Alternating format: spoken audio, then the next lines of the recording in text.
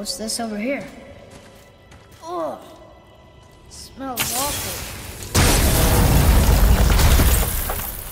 You just can't help but break things, can you?